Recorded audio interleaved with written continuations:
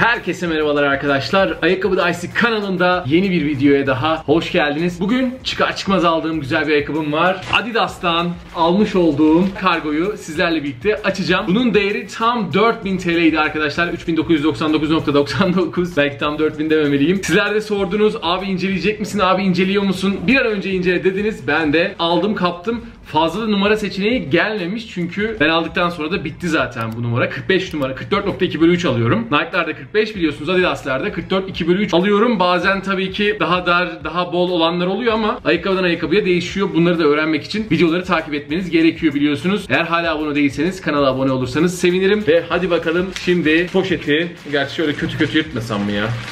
Evet şuradan şuradan güzel güzel yırtayım. Geçen biri şey sormuştu arkadaşlar. Adidas'tan kutuyla almak istiyorum. Kaç tane ayakkabı alırsam kutuyla gönderirler. Yani dedim dostum nereden bileyim ben. Git Adidas'a sor veya iki tane alırsam muhtemelen kutuyla gönderirler demiştim. Ama ilginç ilginç sorularla da karşılaşıyorum arkadaşlar. Aklıma geldi şimdi öyle şunu açarken. Poşetle gönderimi ben de çok beğenmiyorum şahsen. Çünkü bazen yırtılabiliyor. Poşetin hiçbir koruyuculuğu yok. Şöyle çıkardık ve gördüğünüz gibi bir Harden kutusu. Açıkçası niye böyle yapmışlar bilmiyorum. Adam akıllı bir kutu yapsaydınız. 4000 TL veriyoruz buna. Evet gördüğünüz gibi şöyle etiketi de Harden Wall 7 44 2 bölü 3 yani 44,5 numara kutumuz her zamanki Harden kutularına benziyor. Baya büyük ve baya ağır geldi. Evet şimdi şöyle sizlerle birlikte açalım istiyorum. Harden poşetimiz ve cırtlak mı cırtlak bir görüntü var. Bu arada çift kağıt kullanmışlar. Uuu. Bu neymiş böyle ya? Arkadaşlar bunu çıkartayım. Çift kağıt olayını beğendim. Seviyorum bu tarz daha detaylı güzel gönderimleri. Bang bang. Ağır. Bayağı ağır ama. Evet ayakkabımız kargodan bu şekilde geldi. İlk görüşte bir tam anlayamadım nedir ne değildir ama böyle daha detaylıca bakıyorum sizlerle birlikte. Dizayn detayı olarak hiçbir şey gözümü yakalamadı neredeyse arkadaşlar. Biraz eski T-Mac'leri de andırdı. Arkadaki şu üç çizgi ve içindeki boost'u gösteriyor. Evet boost'u özlemişim ya Adidas'ın diğer ayakkabılarından sonra. Boost olayı gerçekten güzel. Kenarda da görüyorsunuz şöyle bir boost yazısı var. Çok sade bir ayakkabı olmuş. Arkasında bir Harden logosunu görüyorum. Onun dışında evet neredeyse hiçbir şey yok. Önünde küçük bir Adidas logosu. Şurada ise bir tarih var. Boost diğer tarafta yazmıyor. Bu kadar arkadaşlar. Dizayn detayı böyle. Hemen şu etiketlerine de bakalım. Harden Volume 7 etiketler bu şekilde. İçinde ise şu gönderilen hoşuma gitti.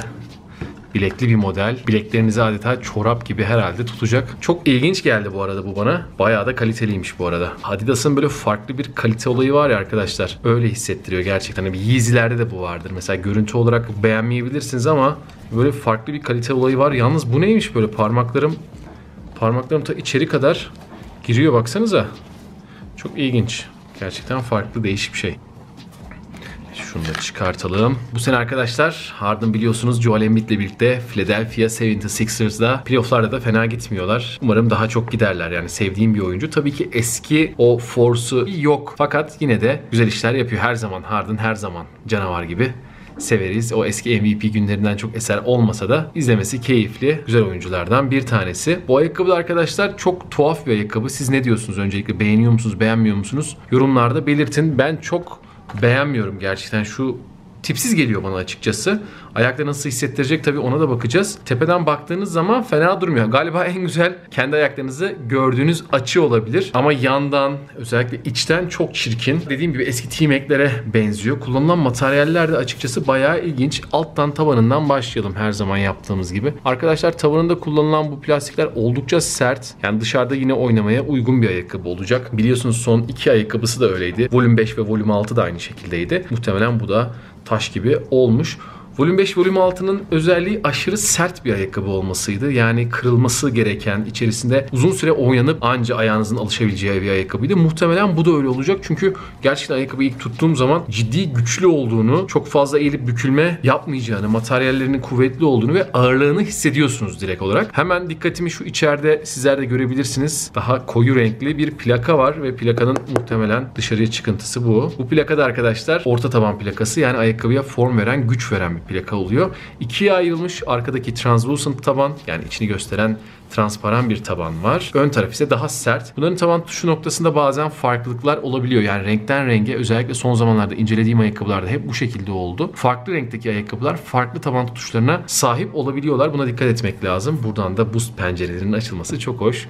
Arkada da görüyorsunuz 3 çizgi. İnanılmaz kaliteli ve güzel hissettiriyor. Böyle çok taş gibi sert değil ama tatlı bir yumuşaklığı var. Bir pencereden de hafif boost rengini görebilirsiniz. Dikkatli baktığınız zaman topukta kalın bir boost tabakası olduğunu görüyoruz. Ön tabanda acaba yine kalın bir boost kullandılar mı kullanmadılar mı yoksa sadece köpük mü var? Şu an için buradan görmek mümkün değil ama tahminimce sadece arkada. Sen bunu detaylı performans incelemesinde hepsinden bahsediyor olacağız arkadaşlar. Genelde niyeyse topuğa çok yastıklama koyuyorlar ama ön tabanda daha çok yastıklama istiyorum. Bu şekilde etkilen korumada artıyor çünkü. Üst taraftaki kaliteyi cidden beğendim arkadaşlar. En belki hoşuma giden kısım bu oldu. Özellikle bu bilekteki harika çorap yapısı ve ciddi manada da kaliteli güzel hissettiren bir yapı bu. Prime Knit vari, örgü bir kumaş olduğunu görüyorsunuz ve kumaş gerçekten de kaliteli duruyor. Arkada bir pedleme var. Daha sonra ise topuğun koruması. Değişik bir kumaştan yapmışlar bunu. Biraz böyle sürttüğünüz zaman elinize çabuk tüylenebilecek değişik bir yapı. Pek beğenmedim bu dış kısmını ama iç kısmı gerçekten güzel. Buradan parmağınız baya baya içeri kadar giriyor. Şuraya kadar falan geliyor parmağınız arkadaşlar. Şu kısma kadar parmağımla çizdiğim kısım. Dil yok. Dil ayarlanamıyor. Belki biraz problem olabilir veya bağcıkları iliklediğiniz zaman nasıl olur bilmiyorum. Tam bağcığın şu iliklenmesinin altında parmağımı soktuğum zaman ufak bir pedleme hissediyorum arkadaşlar. Dolayısıyla bu bağcıkları sıktığınız zaman ayaklarınız acımasın istenmiş. O en azından düşünülmüş. Acaba ayaklarımız içeride nasıl hissedecek? Zaten bunu giyip göreceğiz. Dıştaki bu kabak çekirdeği gibi ayrılmış olan iki kısım. Yani çok beğenmedim yine burayı. Şişko şişko biraz böyle montumsu bir sünger kullanılmış. En azından 3 çizgi yapabilirlerdi belki diye düşünüyorum ama daha farklı bir yapı yapılmış. Kalın, ayaklarınızı tutacak kesinlikle çok güçlü bir ayakkabı olmuş. Bayağı da burada bir kalınlık var yani içeri bastığınız zaman kalın süngerler kullanılmış. Ön kısımdaki kumaş da yine oldukça farklı direkt önden kesilmiş. Parmaklarınızın bulunduğu toe box denir. Yani parmak kutusu diyebiliriz. Burası da yine güçlü kuvvetli duruyor. Harden'lar bunu zaten yapmayı seviyor. Biliyorsunuz Harden ayaklarını da görmüşsünüzdür internette. Adamın ayakları mahvolmuş. Böyle kalın kalın ayakkabılar giyersen, güçlü kuvvetli ayakkabılar giyersen ve ömür boyu da bu ayakkabılar içinde geçirirsen muhtemelen öyle şeyler başına gelebilir. Yumuşak ayakkabıların tersine bu çok kuvvetli olacak. Bayağı farklı yapılar var arkadaşlar. Yani her yerinde ayrı bir materyal kullanımı söz konusu. Özellikle dış tabanın yukarı doğru burada da çıkıyor olması yine keyifli, güzel. Dikkat ederseniz burada daha çok ve gittikçe diğer tarafa doğru küçülüyor, yok oluyor. Dış tarafa doğru yapacağınız hamlelerde sizi koruması için hem yastıklamayı koruyan, çeperleyen hem de yana doğru yapacağınız hamlelerde güç kuvvet veren plastiği kaynatılmış. Bu da yine oldukça kaliteli duruyor. Gerçekten materyal kaliteleri bayağı güzel, bayağı hoşuma gitti. Ve görüyor musunuz arkadaşlar nasıl bir çıkıntı var? Evet buradan çok güzel belli oluyor. Bu çıkıntıda yana yapacağınız hamlelerde sizleri çok iyi koruyacaktır. Harika bir tasarım. Gerçekten bunu her ayakkabıya koyuyor olması lazım her markanın. Çünkü dengesizliği ortadan kaldıracak. Arkadaşlar bu 1 numaradan 5 numaraya bence baya baya kuvvetli güzel bir ayakkabı olacak. Sadece biraz ağır ama taban tutuşu ciddi güçlü duruyor. Yastıklaması bence çok güzel olacak. Şöyle bastığım zaman da ön taraftaki yastıklamayı hissedebiliyorum. Evet burada Light Strike kullanılmıştı. Evet yanlış hatırlamıyorsam. Arkada Boost, önde Light Strike kullanılmıştı. Bu yastıklamayı burada hissediyorum. Umarım Dan Issue'da olduğu gibi sert olmaz ama burada bayağı yumuşak. Muhtemelen kompozisyonlarıyla oynuyorlar. Daha tatlı bir Light Strike var. Keşke tüm tavanda şöyle boost yapıyor olsalardı. Zaten boost yapıyor olsaydı kesin buraya da bir pencere açardı. Nasıl arkada gösteriyor bize. Muhtemelen önde de bunu gösteriyor olurdu. Uzun süredir açtığım ayakkabılar arasında en beğendiğim ayakkabı olduğunu söyleyebilirim sanırım. Keyifli oynaması da güzel olacaktır. Detaylı performans incelemesinde biliyorsunuz her daim yapıyorum. 4000 TL'ye aldım dediğim gibi muhtemelen indirime girecektir bunlar. Çok acele etmemenizi tavsiye edebilirim. Gerçi çok fazla da getirmemişler. Yani çabucak bitti internet sitesinde. Hatta belki bu videoyu izliyorsanız diğer renkleri de şu anda tükenmiş olabilir ama yeni yeni muhtemelen gelecektir. Biraz Türkiye'ye gelmesi zaman aldı. Bazen daha hızlı getiriyorlar ama çok pahalı yapmışlar. Wall 6'lar o şekilde 2900 3000 civarı yanlış hatırlamıyorsam. Tabii her çıkan renk fazla fazla artıyor ama dediğim gibi indirimlerde bunları kovalarsanız rahatça alabilirsiniz. Ama şu anda yani hiç daha ayağıma giymeden şunu söyleyebilirim ki performans olarak ciddi güzel ayakkabılar olacak. Aradığım her şeyi bulduğumu düşünüyorum. Kaliteli üst kısım, harika materyaller, tabanı güzel duruyor, yastıklaması ideal duruyor. Kitlenme fitlenme de çok güzel olacak muhtemelen. Kim ayakkabı arkadaşlar böyle açar açmaz kendini hissettiriyor. Hadi şimdi bakalım ayağımıza giyelim ondan sonra çıkışımızı yaparız.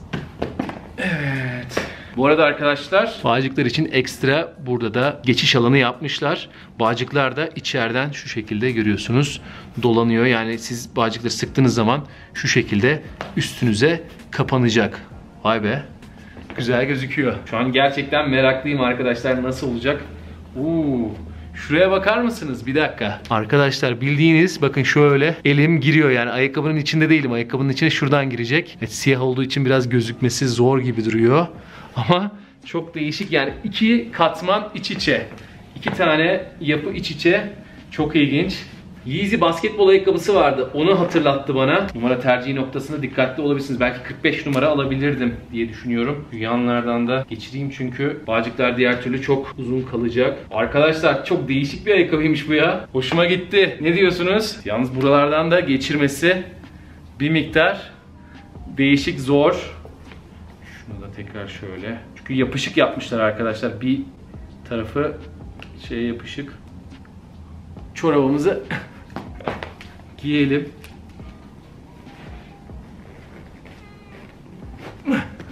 Şöyle çorap gibi çekebiliyorsunuz arkadaşlar. Gerçekten çok ilginç. Çekmeniz de lazım bu arada. İç kısım ciddi rahat. Güzel. Yalnız şuradan şuradan hafif bir dokunma oldu ayağıma.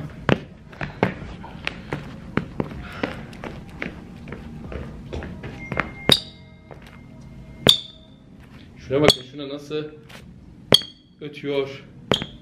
Bayağı güzel arkadaşlar. Şöyle yastıklamayı da size göstereyim. Arka tabii ki çok daha güzel bir yastıklama var arkada.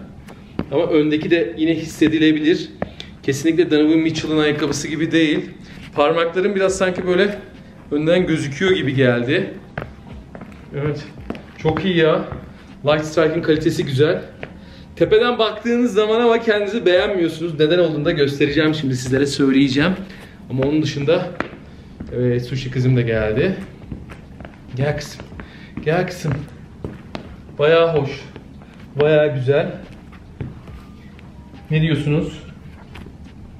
Yorumlarda yazarsanız sevinirim.